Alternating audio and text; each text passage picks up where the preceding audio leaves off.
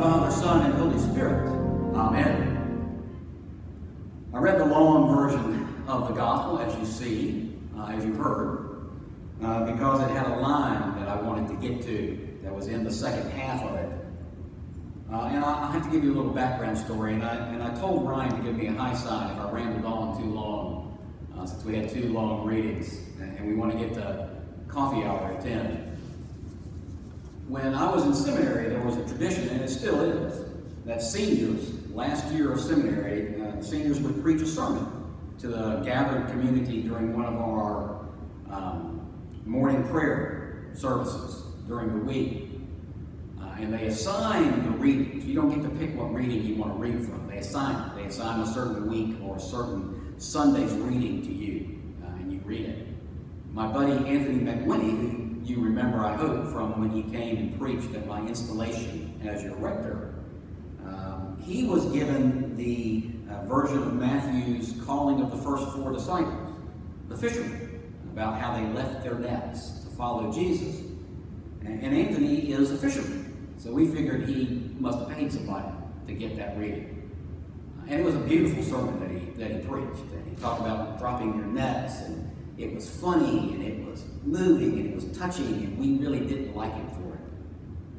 I was assigned Luke's version of this gospel we just read. Going out, I send you like lambs into the midst of wolves, it says in Luke's version. Sheep into the, the midst of wolves in Matthew's version. And I'm not a shepherd or anything, and me being me, I preached about werewolves specifically about the movie The Wolf Man with Lon Chaney Jr. from 1941. Uh, it wasn't a bad sermon. It, it, it actually went over pretty well. Uh, it had some humor and some seriousness. But I thought about it again when I was reading Matthew's version of this. I see I'm sending out like sheep into the midst of wolves.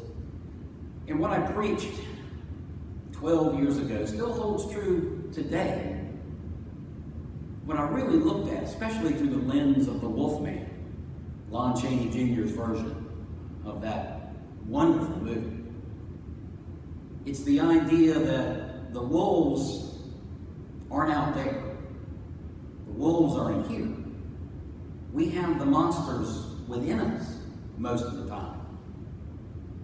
And I think, I know Jesus is talking about people outside the disciples, but Jesus is smarter than that. He knows we've got the monsters in us.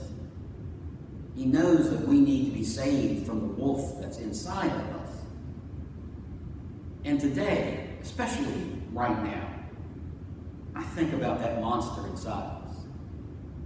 And for us, and for our, our not just our generation, for the last 400 years, that monster has been racism. We have that wolf inside of us keeps wanting to get out and does keep getting out. We see it in slavery.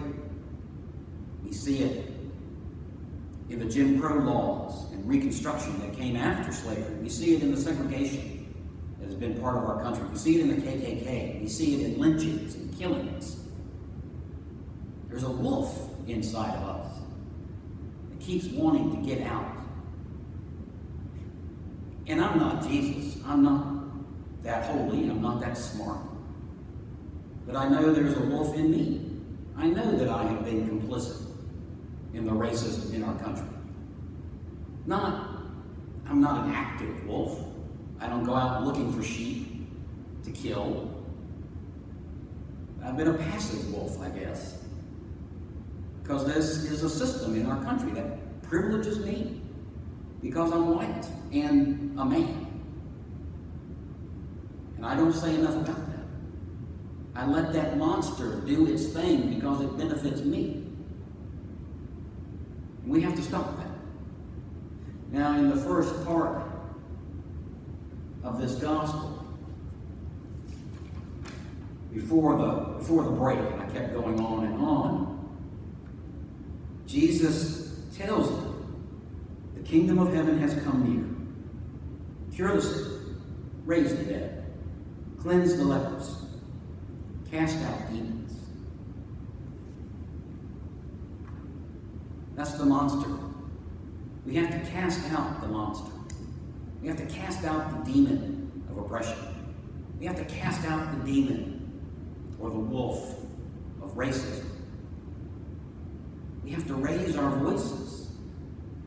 And people might hate us for it, just like they hated the first disciples for saying that Jesus is the Messiah. People may hate us for us to say racism is a sin. They may hate us if we shine a light on injustice, on racial injustice in our country, and it's there. People may not like that. But we can't be worried about that. We have to tame the wolf. We have to cast it out. We have to be sheep, not wolves. And we have a shepherd, and that's Jesus. And he died on a cross so that we could subjugate the wolf within us.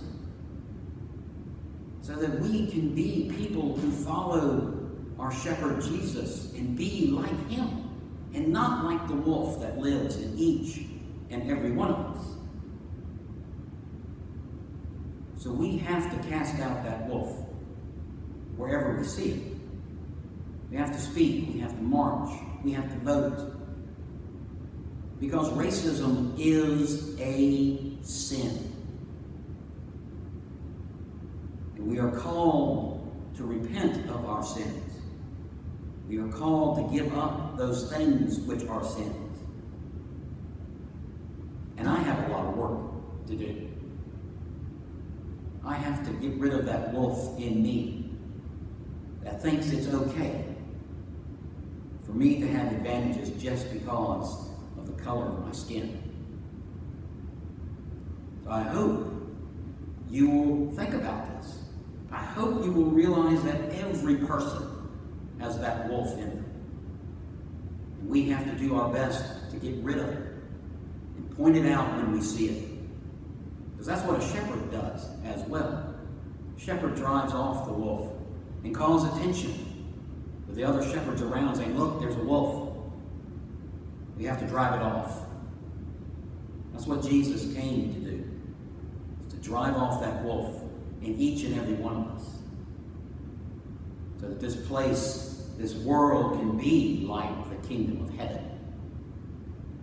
The kingdom of heaven has come near. We want it to be like that. So let's do our best to get rid of that wolf inside us and speak for justice, speak for love.